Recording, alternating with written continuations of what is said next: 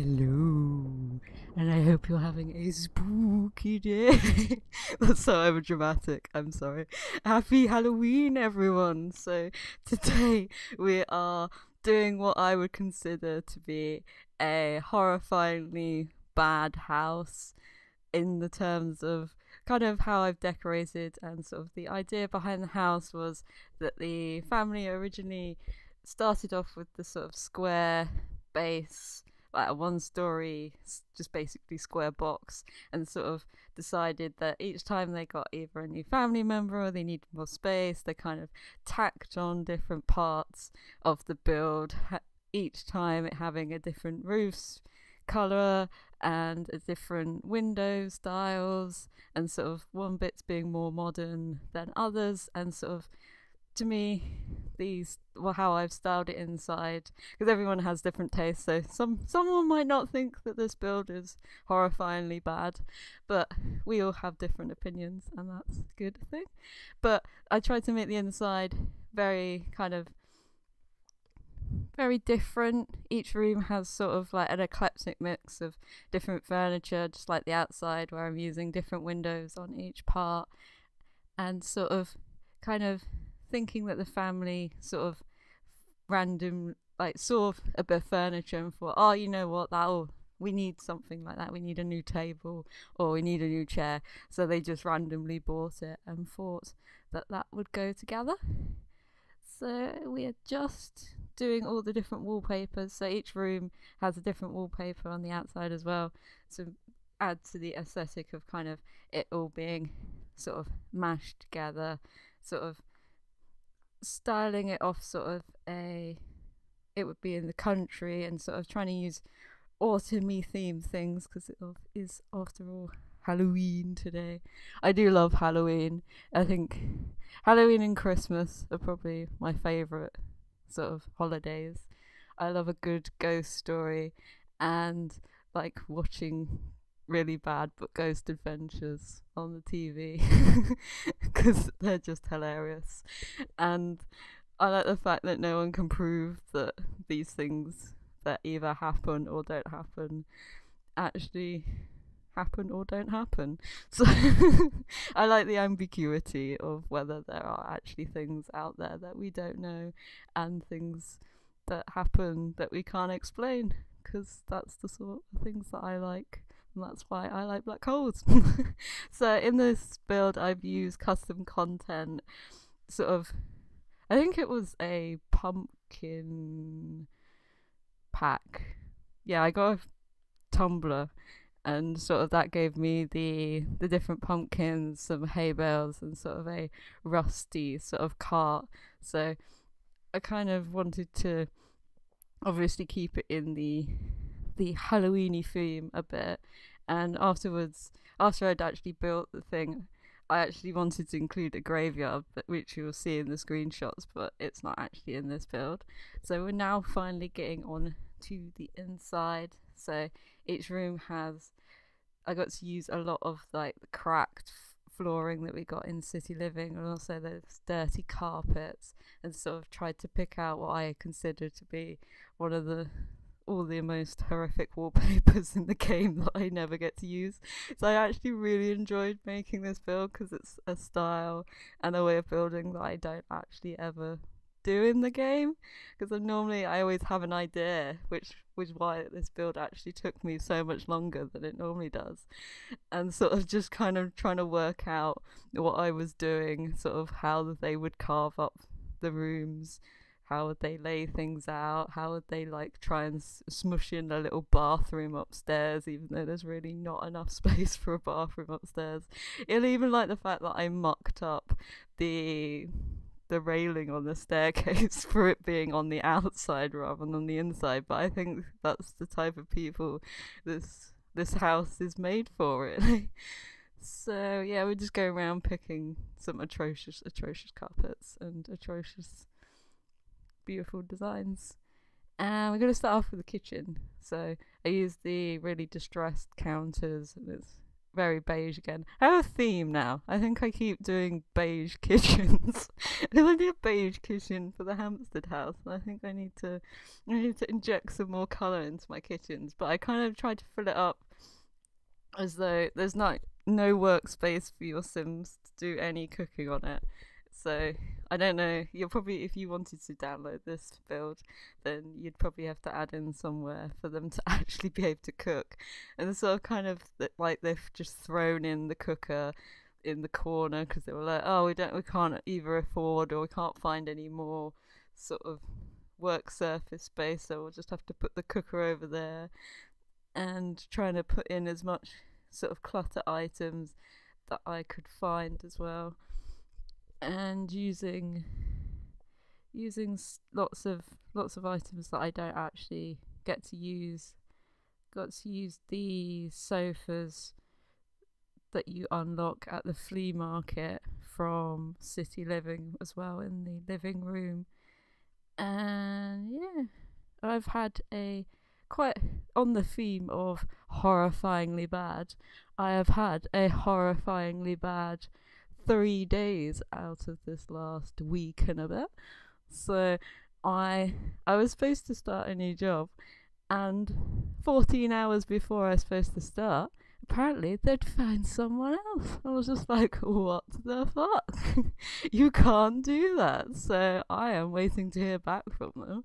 And if not, that things will get interesting, I think. And then talking of concepts and ideas, the two people from my old course decided to use my concept for their upcoming exhibition that we'd already used and rehash it and claim it as their own again. So I have had a, a wonderful few days, but everything was made up yesterday by going to see Thor Ragnarok, which I will be doing a review slash build that's very strange, you could say, on Thursday um, it's going to be very funny because I've challenged myself to do something in that video, which will be very horrific for anyone listening to it, but hilarious. And I want, I want to see how long I can last doing it.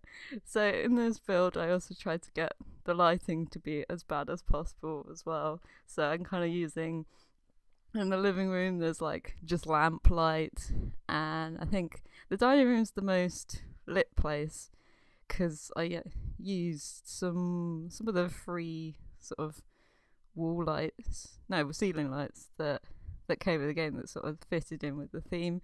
So you can see in the dining room, I kind of did the idea that each time they had a new family member, they sort of bought a new table, or if they're having guest rounds, they were like, "Oh, you know what? We need to, we need to get another table." But none of them match. None of the chairs go they got that strange rainbow door on the other side, which I thought was quite funny. I was just like, you know what, this house needs needs a lovely random door and some beautiful matching patterned purple curtains that really add add to the aesthetic of that room. So when I was doing this room, I kind of forgot that I wanted wanted a door to this building, and I thought it was kind of a happy accident that I'd put a sofa in where I actually wanted to have it attached to the house. So I was like, you know what, this family would would be the type of family that would put the toilet access outside the house. So you had to go outside and then go into the bathroom. Like they designed it to be a different type of room i think that it was more supposed to be like, oh, this is our hobby room, but it's like, oh no, we we've only got one bathroom and it's tiny and upstairs we need another one. So you know what, we've got this extra room, we'll just turn that into a bathroom, even though it's highly inconvenient and has two massive, fully glassed windows at the end. And this is the little study nook area that has the staircase in.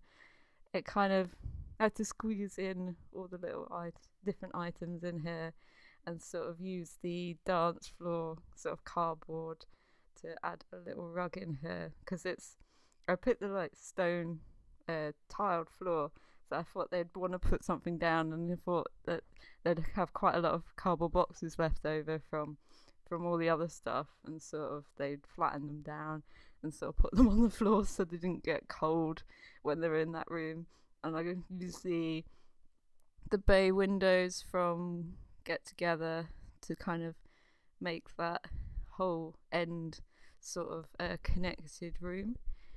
And then we're fine getting up to the upstairs. And I love that new Diwali rug that we got in the free update for the holiday pack. Some of the stuff in there was really, really nice and nice to see some diversity, more diversity in the pack.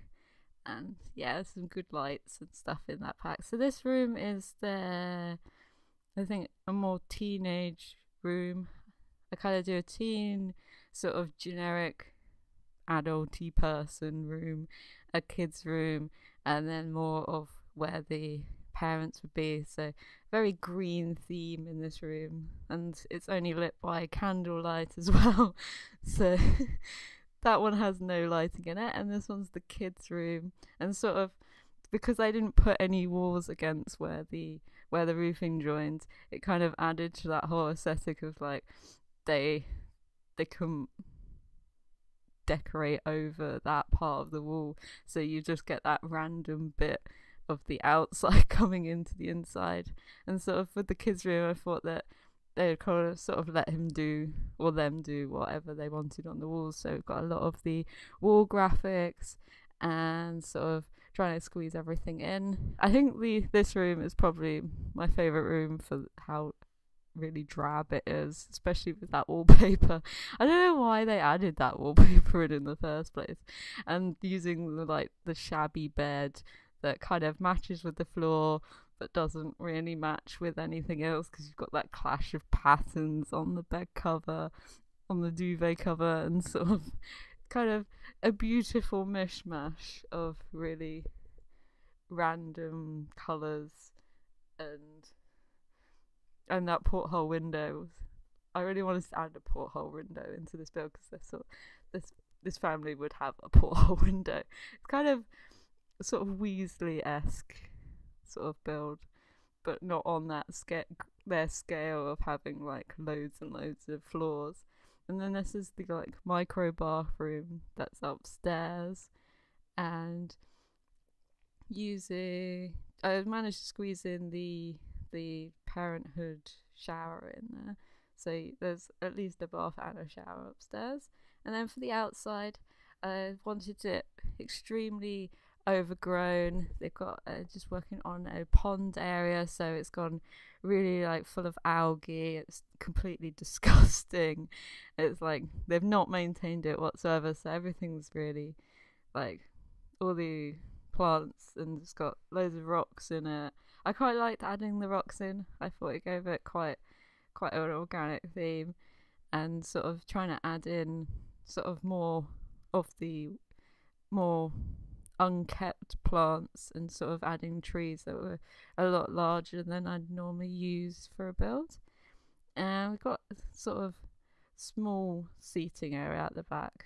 It's kind of they they don't really do a lot of gardening. I don't think this family would and the sort of they had good intentions, so I thought that they'd they would have bought all the things that you could use for planters, and they planted the plants, but kind of just gone, nah, they don't they don't need looking after. We'll just we'll just leave them to do do whatever, and sort of this is the inspiration for this part of the garden. So it's just like everything's overgrown. It's kind of spreading into the rest of the garden. They've, they've not bothered to keep any of it contained within the planters itself. And I, I really like to use this aesthetic a bit more, but try and keep it a bit more bit more controlled than I have done in this one because I think it it really adds something like I don't know what it is, but it just adds a bit more realism. And I did do a lot of terrain painting for this build and making it like they're just trampled like everything was trampled over. They did have paving stones in the back but it's kind of you know the moss has grown through. They've never decided to like use weed killer and kill off the like little bits that grow in between. And sort of just using the whole aesthetic of the inside, but using it for the outside. And then I went round and placed all a load of pumpkins because I do like those pumpkins, even though they are custom content. And I don't have the spooky pack, so I thought I wanted to relate this build in some way to Halloween, obviously. and yeah, we just and I think yeah, threw in some random chairs that are supposed to be on the inside. Like they've kept them. They, they didn't have enough space inside, so they were like, you know what, we'll just use those as outside chairs. But but you'd imagine that they were like sopping wet if it got wet because they're made of fabric, so you'd never want to sit in them, and they're probably like full of mold. And I did forget about a lot of the outdoor like items, and now we're adding like a massive chimney on the side that used maybe used to be part of the old building, and sort of adding roof roof windows, and I think it adds some more chimneys about. Even though they've only got one fireplace, I feel like this house would have had a few more fireplaces, and then someone's coming in and be like, no, it's not safe for you to have fi- that many fireplaces with this many objects inside. And I've kind of had to take them down or something like that. And adding in the overgrown window boxes. I love how it draped over the little awning we've got. And then these are the screenshots. So I hope you enjoyed. And if you'd like to see any more builds, feel free to subscribe. And I will see you in the next one. Bye.